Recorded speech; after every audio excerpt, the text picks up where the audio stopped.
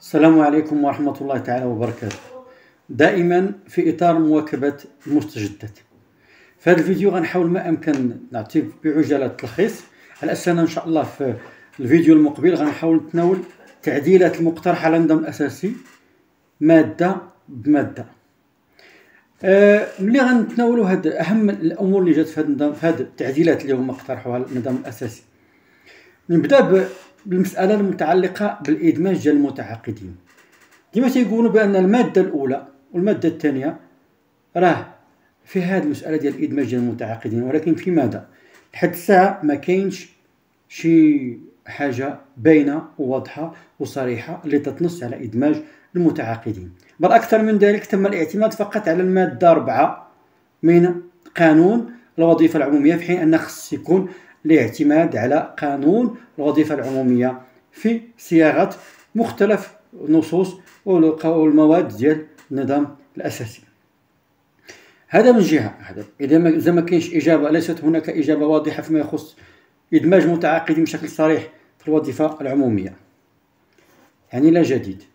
بالنسبة للمادة ثلاثة. المادة ثلاثة فعلا كاين هناك تحسن حيت في النظام الأساسي المشؤوم كانت تقول في حالة التعارض يسري النظام الأساسي بدل قانون الوظيفة العمومية وهذا فيه خرق حتى القانون. مسألة التغييرات يخضع يخضعون في تدبير شؤونهم للسلطة الحكومية المكلفة بالتربية والتكوين أو السلطة المختصة طبقا للنصوص التشريعية والتنظيمية الجاري بها العمل. يعني التغييرات هنا العبارة طبقا للنصوص التشريعية والتنظيمية الجاري بها العمل. يعني في إحالة للقانون الوظيفة العمومية. مسألة أخرى اللي بغيت نشير لها فيما يخص اللي باقي على أساسنا إن شاء الله غنحاول نتناول هاد المواد مادة بمادة. نجيو المسألة ديال التعويض. هما كنصوا بأن هذاك المرسوم أن التعويضات التكميلية ولا التعويض التكميلي على الأعباء ولا التعويض التكميلي اللي كان من قبل هذوك التعويضات نصوا أنهم ما باقيش غيتحذفوا من تما وغيولوا في مرسوم خاص. ولكن الإشكال فين كاين؟ هو أن زاد تعويضات أخرى تكميليه لمجموعه من الفئات المساعدين التقنيين ولا المتصرفين باستثناء ونفس الخطأ كنعاودوا نرتكبوه من جديد وكنستثنيو هيئة التدريس بالخصوص الابتدائي والإعدادي. وديما تنقولها لا للتشفيه لا للتفرقة نعم للعدالة الأجرية. بغينا الجميع يستافد إحنا ماشي ضد ولكن بغينا العدالة الأجرية. بحيث أن في التعويضات كاينة 500 درهم. بالنسبة للتاهيلي واخا 500 هذاك المبلغ ديال التعويض راه آه، هزيل جدا. ونزيدكم بأن دائما تنذكر هاد التعويضات راه ما كتحتسبش في التقاعد. يعني التعويض غير فقط مرتبط بالمهمة. إن فوا كيشد الإنسان التقاعد داك التعويض ما كيتحتسبش ليه. يعني مساله أخرى حتى هي خصنا ننتبهوا ليها. اذا دائما استثناء هيئة التدريس من أي تعويض. هذا من خصوص التعويض. ونصب بأن هذا هاد هاد الأمور هذه غادي مابقاش غتكون في النظام الأساسي ولكن غتكون في مرسوم خاص بطبيعة الحال باش حتى حد ما يطلع عليها هذا هو النيه الخفية. ثم مسألة أخرى تتعلق بالترقية. بالنسبة للاطار ديال التعليم الثانوي راه تحذف يعني ولا عندنا غير ابتدائي إعدادي تأهيلي. المسألة اللي كتعلق بالترقية. الجديد فيما يخص الترقية. في الرتب. حنا كنا كنقولوا بأن ضرورة مراجعة نظام الترقي من رتبة إلى رتبة ومن درجة إلى درجة. وأيضا بشكل سلس تضمن أن الجميع يستفدوا من الدرجة الممتازة. هنا غنشوفوا ما الجديد في هذه النقطة هذه. الجديد هو وفق دائما المادة 48 كانت في الأول فيها إحالة المرسوم ديال 1963 وهنا باقي كنزيد نأكد بأن باقي الأرقام الاستداريه باقي هي هي كترجع ل 1963 في الجديد اللي مقترح هو تتم الترقية من رتبة إلى الرتبة الموالية وفق الأنساق التالية. حنا غنركزوا على النسق السريع. من رتبة واحد رتبة جوج سنة. من رتبة جوج إلى رتبة ثلاثة سنة. من رتبة ثلاثة إلى رتبة أربعة سنتان. ومن رتبة أربعة إلى رتبة خمسة أيضا سنتان وأيضا من رتبة خمسة إلى رتبة ستة سنتان. ومن ستة لسبعة سنتين أيضا من سبعة لثمانية سنتان من ثمانية لتسعود سنتان وأيضا من تسعود الرتبة عشرة سنتان.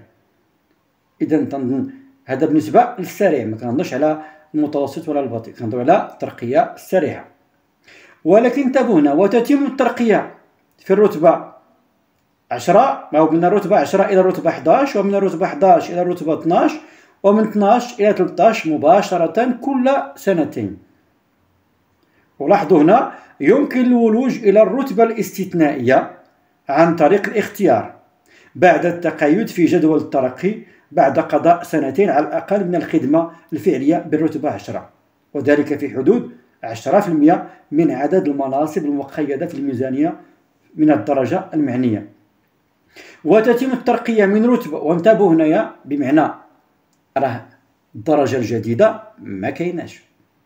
بقات غير الرتبة الاستثنائية باش نكونوا واضحين باش ما يكون شي واحد يفهم بأن هذه الرتبة لا لا ماشي الدرجة الجديدة هذه الرتبة استثنائيه بعد 12 13 كتبقى لنا الرتبة الاستثنائية. وتتم الترقية من رتبة إلى الرتبة الموالية بالنسبة للموظفين المرتبين في الدرجة الممتازة. لاحظوا هذه. الموظفين المرتبين في الدرجة الممتازة مباشرة كل ثلاث سنوات بمعنى لا تغيير ثلاث سنوات بمعنى باش تستافد ديك الرتبة خمسة في الدرجة الممتازة خصك دوز 15 سنة بمعنى ثلاثة في خمسة يساوي 15 سنة. عاد باش توصل الرتبة خمسة في الدرجة الممتازة. إذا لاحظوا هاد الأمور هذه باقي ما كاينش شي جديد فيها حتى الدرجة نورمالمون مخ اللي كنا كنطالبوا به وأن على الأقل على الأقل حتى لما كانش الإنسان. قلنا غننزل في بالنسبة للدرجة الممتازة غير كنا غنبداو برتبة واحد ما تكونش أن ترقى من رتبة واحد رتبة خمسة ثلاث هذا الشرط ديال ثلاث سنوات وإنما لما لا الشرط ديال سنة واحدة فقط. أو أو مقترحات أخرى. هذا فيما يخص الترقية. اذا الترقية كما قلت هذا هو الجديد. يعني الدرجة الجديدة راه ما كايناش. زائد حتى الرتبة خمسة في الدرجة الممتازة ما غتستافدش منها إلا بمرور 15 سنة. نجيو لمسألة أخرى متعلقة بالمهام. المهام فعلا قالوا بالنسبة للمهام نرجعوا للمادة 15 دائما المادة 15 المهام تحصرات في التربية والتدريس. تقييم المشاركة في تنظيم امتحانات المدرسية. المشاركة في تنظيم الامتحانات المدرسية. هذا وفق التعديل اللي عندنا هنايا يعني كاين تعديل. ولكن الإشكال فين كاين؟ المهام هما محددين في هذه الماده 15 ولكن اذا رجعنا المساله المتعلقة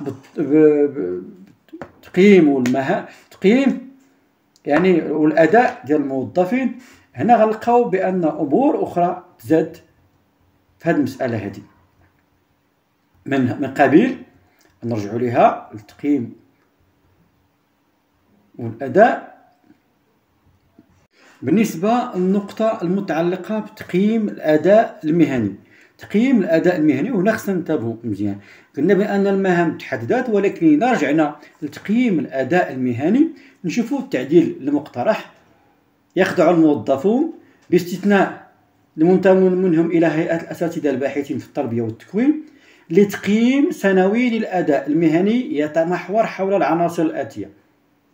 وفق التعديل تنفيذ المهام جودة الممارسات المهنية بما فيها استثمار التكوين المستمر الالتزام المهني بالضوابط الجاري بها العمل الانخراط في تنزيل مشروع المؤسسة المندمج من أجل الحصول على علامة الجودة بمؤسسات الريادة يعني ملي تنقول انخراط في تنزيل مشروع المؤسسة المندمج هذه إضافة من أجل الحصول على علامة الجودة بمؤسسة الرياضة يعني يعني قيام يعني من خراط مختلف أنشطة المؤسسة يعني بحال إلى هذوك المهام اللي كنا نضافتو نضافت بصفة مباشرة هي غتنضاف بصفة غير مباشرة.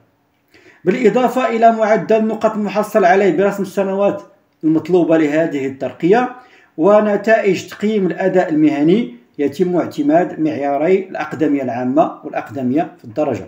يعني غيعتمدوا حتى على الأقدمية العامة والأقدمية في الدرجة.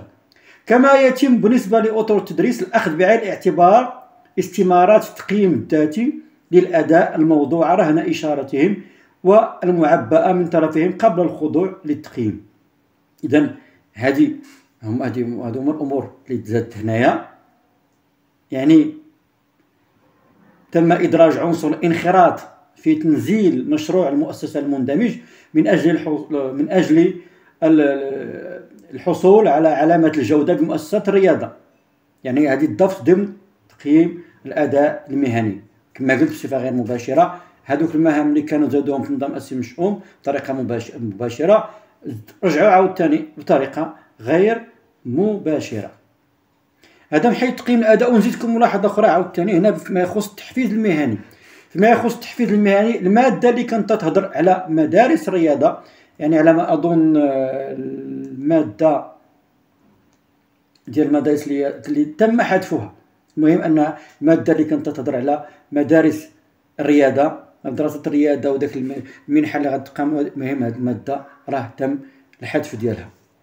بالنسبة للمادة 64 و 54 متعلقة بالعقوبات راه تم حذف هذه المادة هذه 64 و 65 وتعويضها تطبق على الموظفين الخاضعين لمقتضيات هذا المرسوم فيما يتعلق بالتأديب الأحكام المنصوص عليها في الظهير الشريف المشار إليه أعلى رقم 158008 صادر في 4 شعبان 1377 24 فبراير 1958 بمعنى قانون الوظيفة العمومية.